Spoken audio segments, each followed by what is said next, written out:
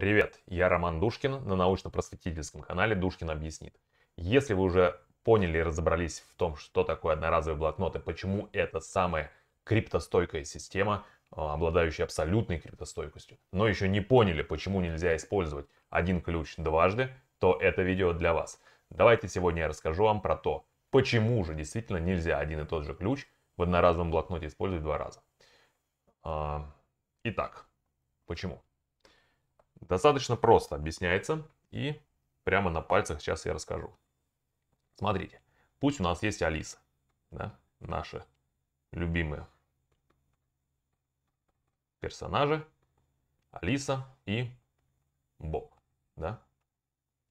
Соответственно, Алиса передала Бобу некое сообщение М1, которое зашифровала при помощи ключа, да. То есть вот это то, что вот здесь нарисовано. Это у нас сообщение E1, зашифрованное сообщение E1. Но Алиса довольно-таки ленивая, и поэтому она послала Бобу еще одно сообщение. М2. И зашифровала его тем же самым ключом. И вот это вот у нас Е2. Зловред Ева. Ева, да?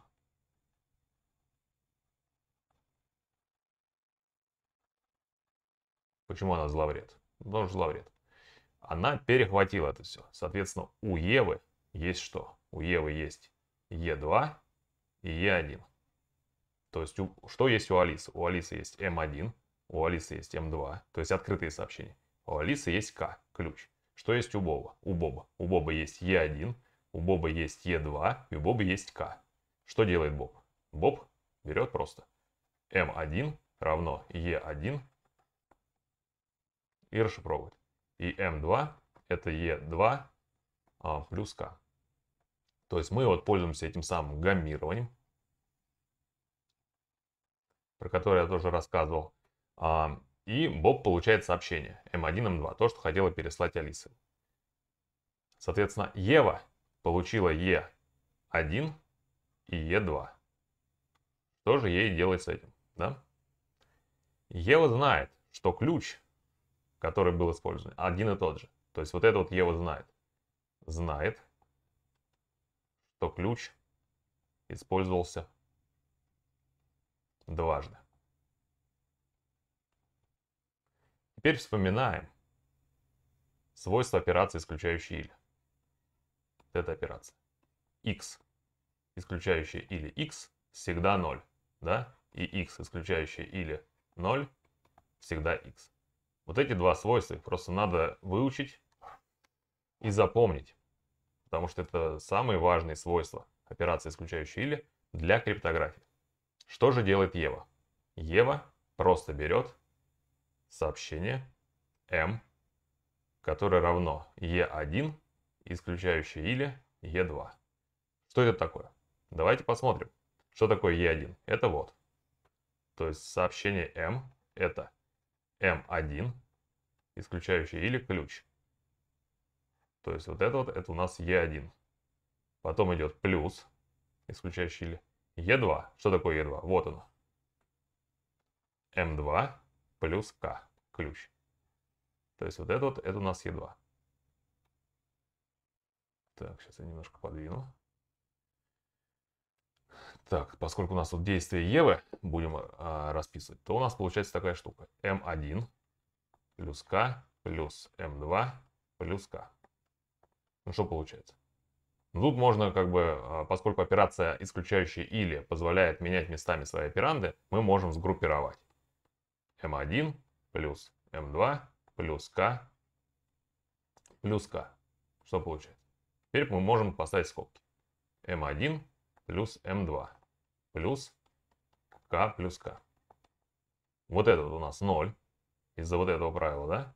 То есть это у нас получается m1 плюс m2 плюс 0. И это равно чему? Вспоминаем второе правило. m1 плюс m2. То есть Ева, Ева, наш зловред, самой простейшей операции логической получила из зашифрованных сообщений E1 и E2, которые были зашифрованы при помощи как бы одноразового блокнота, но на самом деле двухразового блокнота, потому что ключ использовался дважды, да, Ева получила а, вот такое выражение. Что же оно нам даст? Что же оно нам даст, да? Я уже упоминал о том, что когда, а, когда я рассказывал про одноразовый блокнот, я упоминал о том, что в сообщениях E1 и E2, то есть в шифровках, нету никакой статистически значимой информации, которая бы давала криптоаналитику какие-либо зацепки а, для того, чтобы расшифровать M1 и M2. Потому что ключ, вот этот случайный ключ, он все портил. Он вносил такой хаос в сообщение, что а, расшифровать было невозможно. Но вот таким вот простым а, арифметическим, логическим, вернее, прошу прощения, действием мы ключ обнулили в обоих сообщениях и получили выражение M1 плюс M2. Что же нам теперь делать с этим выражением? это выражение обладает полный, а, полным набором статистических закономерностей языка, на которых они написаны. То есть а, статистика. Мы уже изучали два метода атаки на а, шифры многоалфавитной и одноалфавитной замены. Первое это что? Частотный анализ. И второй что? Подбор ключевых слов.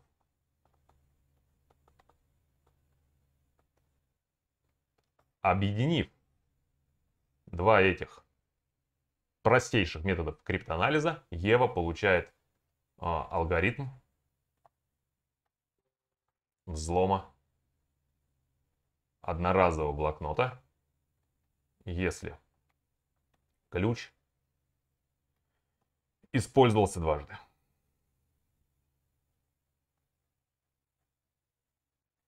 Вот и все. Так, что у нас здесь?